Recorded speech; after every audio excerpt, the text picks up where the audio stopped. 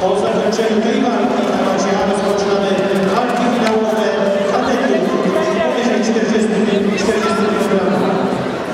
Przygotowują się Panów Jakub i Klimczak Dawid. Walka finałowa Panów Jakub i Klimczak Dawid.